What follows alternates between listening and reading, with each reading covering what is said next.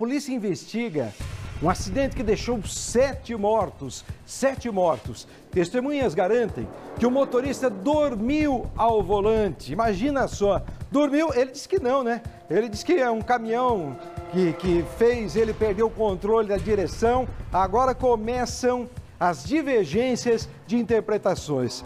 Um fato é incontestável: sete pessoas morreram, 22 feridas. Olha só. O Alex era um dos passageiros do ônibus e conta os momentos angustiantes que viveu depois que o veículo tombou. A gente se rastejou para poder subir, aí subimos, tinha umas, acho que umas 15 pessoas aqui, uma chorando, uma machucada e tal. E aí, o motorista subiu também, não teve nenhum arranhão. Aí questionei ele, ele me falou que ele estava cansado. Ele falou: Não vou mentir para você, eu estava cansado, o sono bateu e eu perdi o dormir. Dei aquela dormidinha, ele falou, e e sair da pista. Segundo a Polícia Rodoviária Federal, o ônibus seguia de Florianópolis, Santa Catarina, para Foz do Iguaçu, no Paraná. Ele estava com 54 passageiros mais o motorista.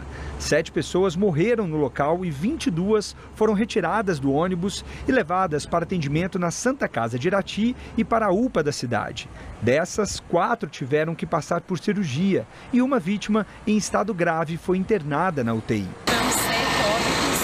com idades aí entre 3 anos até 50 anos aproximadamente. Várias pessoas de diversos locais, tanto do Brasil quanto é, de fora. A gente tinha alemães, franceses, paraguaios e argentinos né, é, que, que estavam visitando o Brasil e também passando por aqui e infelizmente depois do tombamento do ônibus vieram a perecer no local. A Polícia Civil vai investigar o caso. Nós ainda estamos em diligências preliminares. A perícia constatou que não há marcas de frenagem aqui na rodovia e o que descarta uma hipótese de uma eventual colisão. O veículo será recolhido até a Polícia Rodoviária Estadual de Ponta Grossa para que possamos fazer é, é, o trabalho pericial nele para ver se há algum erro mecânico, alguma falha mecânica, algum problema de frenagem, assim como também as diligências investigativas que faremos até encerrar a investigação.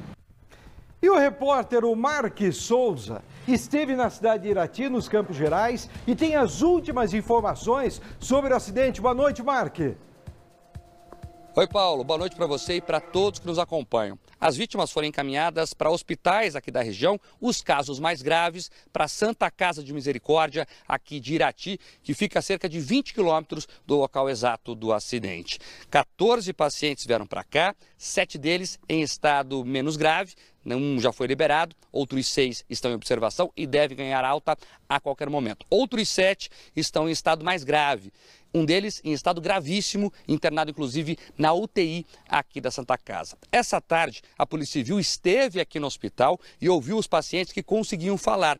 O conteúdo desses depoimentos não foram revelados. Nós também já sabemos que o motorista fez o teste do bafômetro e deu negativo. Então ele não tinha ingerido bebidas alcoólicas, pelo menos segundo o teste que ele fez. Mas como já sabemos, os passageiros relatam que ele disse que estava cansado e teria dormido ao volante. A polícia está investigando agora para saber as causas reais desse acidente. Eu conversei com alguns policiais que estão no caso. Eles relataram, Paulo, que o cansaço e o sono ao volante pode ser sim uma das causas, já que o local é uma reta, de difícil ali se perder se não tiver cansado, se não tiver dormido ao volante, mas claro, a investigação vai esclarecer todos os pontos. A cobertura completa sobre essa tragédia você confere logo mais aqui na RIC TV, no Jornal da Record. Pois é, obrigado, Mark. Lembrando que a lei diz que a cada 400 quilômetros você tem que ter a substituição do motorista, exatamente por uma, uma questão de cansaço, não é? E os, e os passageiros diz que chegavam a gritar ou conversar dentro da, do ônibus, porque ele ia comendo faixa, pelo menos isso é o que os passageiros diziam. Ia avançando, ia recebendo buzinaço de outros veículos. Então, a investigação está apenas começando.